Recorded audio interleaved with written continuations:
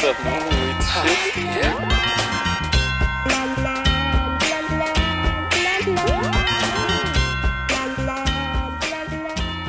Shit?